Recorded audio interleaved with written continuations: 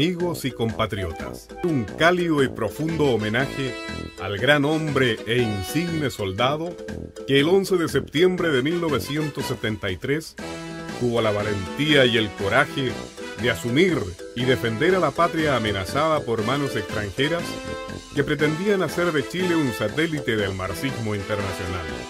El país the country atravesaba por una honda crisis was going through a deep crisis moral, moral, económica, economic, social. social.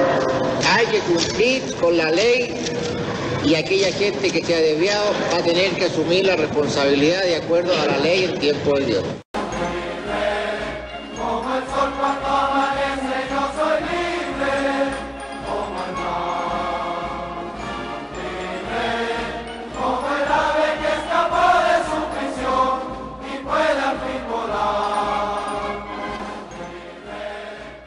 Sono passati 50 anni da quando le forze speciali dell'esercito guidate dal generale Augusto Pinochet liberarono il Cile dall'infame regime socialcomunista di Salvatore Allende, un presidente squallido, corrotto e corruttore al tempo stesso, ridusse alla fame il suo popolo, mise in ginocchio una rigogliosa nazione ricca di risorse minerarie.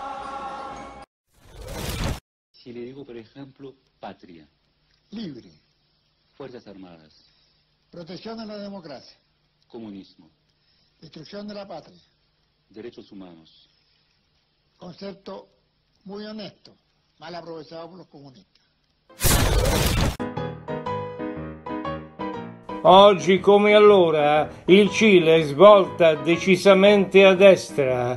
Oggi come allora, dalle fulgide acque del Pacifico a quelle atlantiche che bagnano la Tierra del Fuego di Capo Horn, un sol grido, Cile libre! Dimissioni subito del rosso funesto presidente Boric. Del resto, l'assemblea eletta per riformare la Costituzione ha visto trionfare la nuova destra repubblicana di Cast insieme con quella di Cile Seguro dell'ex presidente Pinera. Entrambi hanno i numeri per confermare le fondamenta costituzionali volute da Augusto Pinochet.